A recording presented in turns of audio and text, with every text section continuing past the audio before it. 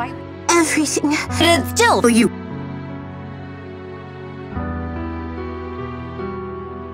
I'm just Lynn.